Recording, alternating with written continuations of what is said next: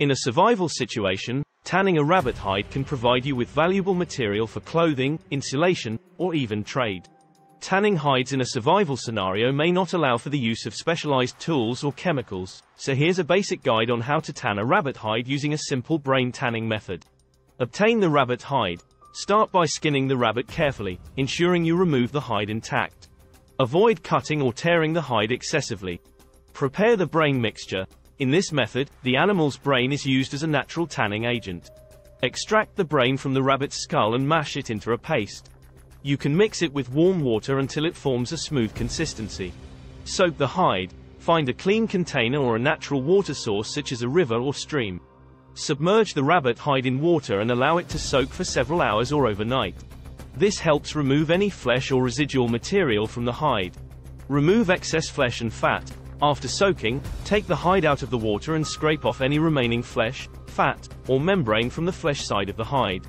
Use a blunt tool such as a knife, stone, or shell to gently scrape away the material. Apply the brain mixture. Spread the brain paste evenly onto the flesh side of the hide.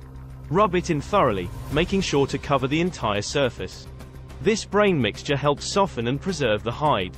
Stretch and work the hide. Begin stretching and working the hide to break down the fibers and make it supple. You can do this by pulling the hide in different directions, flexing it, and rolling it between your hands.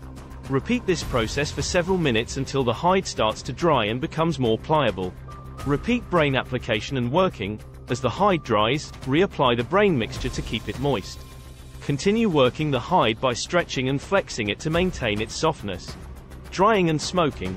Once the hide has been thoroughly worked, allow it to air dry in a cool, shaded area. Avoid direct sunlight or excessive heat. After the hide is dry, you can further smoke it by suspending it over a smoky fire for a period of time. The smoke helps to waterproof and add additional preservation qualities to the hide. Note, tanning hides using brain tanning methods can be time-consuming and labor-intensive. It may not be suitable for immediate survival needs but rather for longer-term sustainability and resourcefulness.